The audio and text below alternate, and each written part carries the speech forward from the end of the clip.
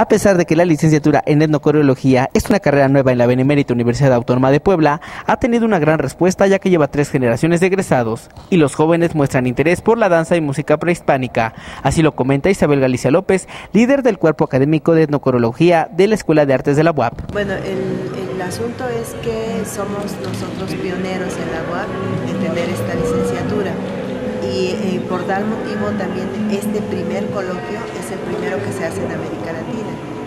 Nos está yendo muy bien, nos llegan jóvenes muy entusiastas, muy responsables, eh, jóvenes que tienen verdaderos deseos de estudiar la danza tradicional, la música tradicional y jóvenes que pues estamos seguros que serán los futuros baluartes de la danza y la música tradicional en México. Para Telefórmula Puebla informó Edgar Rugerio.